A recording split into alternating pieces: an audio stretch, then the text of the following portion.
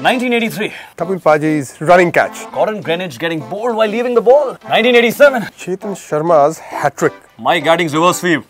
1992. Wasim Akram's two wickets in two balls. Javed Miandad jumping. 1990. Venkatesh Prasad versus Amir Sohail. India's collapse at Eden and Kambli crying. 1999. Shane Warne's two back-to-back spells of four wickets each. Allan Donald's run out. 2003. Ricky Ponting's